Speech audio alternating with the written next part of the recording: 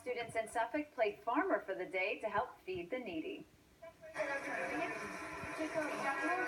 Eighth graders from William Paca Middle School in Mastic Beach got down and dirty today, harvesting vegetables from a garden they made more than two years ago. The students gathered the food once a week throughout the summer and donated it to a local food pantry. Helping out people in need, and it just makes you feel good. Ah, that's for sure. So far, the students have donated more than 300 pounds of vegetables.